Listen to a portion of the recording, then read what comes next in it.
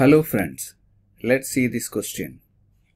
A circle is inscribed in a triangle ABC with sides AC, AB and BC as 8 cm, 10 cm and 12 cm respectively.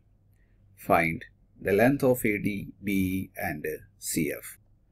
We know that the length of the two tangents drawn from an external point a circle are equal. Here external point is P. A PA and PB are the tangents from the same point. So we can write that PA equals to PB. Here the triangle ABC. The point of contacts are D, E and F. Length of AB, BC and AC are given. AC is 8 cm, AB is 10 cm and BC is 12 cm. Let us take CF as X. CF and C are equal, both are from the same point. AF and AD are equal. BE and BD are equal. Let's put CF is X, then C also X. The length from A to C is 8 centimeter. Then AF will be 8 minus X. So AF is 8 minus X. Then AD is also 8 minus X. Here CF is X. Then C also X.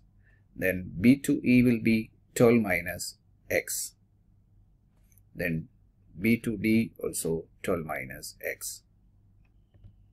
So CF is X, CF and C are equal X and AF is 8 minus X, then AD also 8 minus X, B is equals to 12 minus X equals to BD.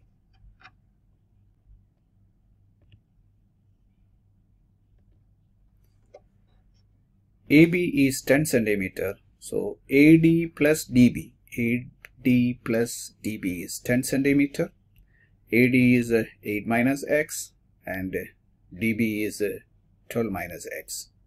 So 8 plus 12 is 20 minus X minus X minus 2X equals to 10. So minus 2X is equals to 10 minus 20 is minus 10. Therefore, X is equals to 5.